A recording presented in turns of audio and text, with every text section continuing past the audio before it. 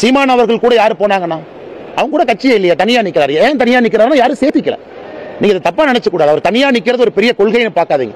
யாரும் சேற்றுக்கொள்ளாத காரணத்தினால் தனியா நிக்கிறாங்க. என் பையன் வந்து மாவீரர் இருக்கான் பாருங்க. குனிய சொன்னான். உள்ள முத்தம் கொடுக்க கூப்பிடாம இருக்குன்னு குனிஞ்சு ஒன்று டாப்னு ஒரே அடியா மூஞ்சி அடிச்சு சிரிச்சுக்கிட்டு அவங்க அம்மாட்ட ஓடிட்டான். அப்படிதான் நான் அண்ணாமலை பார்க்குறேன்.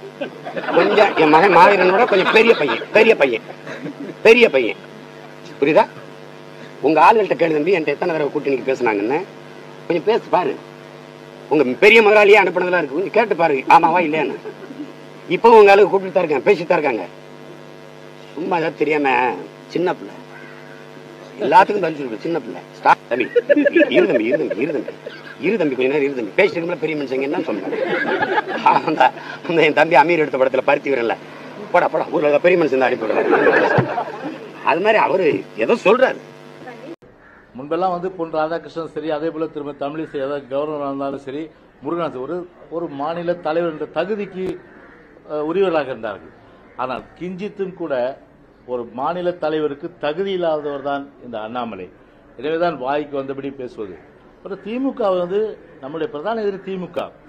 அவர்களை வந்து விமர்சனம் செய்வதை விட்டுவிட்டு ஒரு தோழமையை போய் விமர்சனம் செய்வது என்பது நிச்சயமாக எந்த நிலையிலுமே வந்து ஏற்றுக்கொள்ள முடியாத செயலாகத்தான் நிச்சயமாக நாங்கள் வந்து கருதுகின்றோம். இவருடைய செயல்பாடு பொறுத்தவரை நாம் பார்க்கும்போது பிஜேபி அதிமுக தொடரக்கூடாது.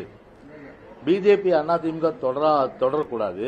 அதே நேரத்தில் வந்து பிரைம் மினிஸ்டராக வந்து திரு நரேந்திர மோடி வரக்கூடாது என்ற ஒரு நிலையில் தான் இவர் வந்து போறாரா அண்ணாமலை? அப்படிதான் தெரியுது இன்னைக்கு. அனைத்து இந்திய அண்ணா திராவிட முன்னேற்ற கழகம் தான் தமிழகத்திலே மிகப்பெரிய இயக்கம். அதன் தலைமையிலான கூட்டணி தொடரும். இது பாரத பிரதமருடைய விருப்பம். ஒரு முறை அல்ல இரண்டு முறை சொன்னார். இது பாரத பிரதமருடைய விருப்பம் விருப்பம் என்று சொன்னார். அது யாருக்காக சொன்ன வார்த்தை? எங்களுக்காக இல்ல. அண்ணாமலையை வைத்து கொண்டு அவர்களே தலையிலே கொட்டுவது போல சொன்ன வார்த்தை.